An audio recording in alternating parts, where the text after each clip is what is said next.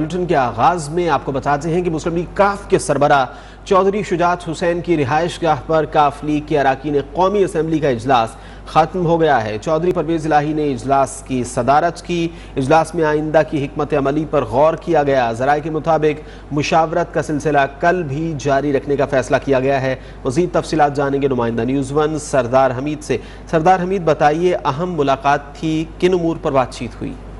जी, बिल्कुल मुस्लिम लीग काफ, जो कि हुकूमती इतादी जमात है, उसका अहम तरीन इजलास आज चौधरी शजात की रिहाशगा पर इस्लामाबाद में हुआ, जिसमें तमाम अरकान कौमी असम्बली ने शिरकत की है और इस इजलास में हुकूमत के साथ इताद में रहने या न रहने से मुतलिक मुख्तलिफ़ जो पार्टी के रहनमा थे, उनसे आरा ली गई हैं और ये इजलास जो है, कुछ देर कबल ख़त्म हो चुका है और इजलास में ये फैसला किया गया है कि कल भी इस पर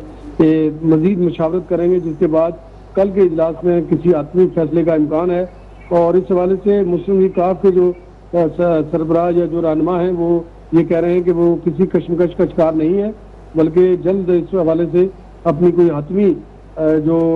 डायरेक्शन है पार्टी की उसको अनाउंस कर दिया जाएगा और ये कभी इम्कान है कि कल के इजलास के बाद मुस्लिम लीग काफ अपनी पोजीशन क्लियर करेगी कि क्या वो हुकूमत का साथ दे रही है या कि हुकूमती इतात से अलग होकर अपोजिशन में अपोजिशन इतिहाद में के साथ जो है वो तावन करेगी। इस बात का फैसला भी कल इम्कान है कि अला सतह का जो इनका इजलास है उसके बाद ये जी सरदार हमीद आपका शुक्रिया।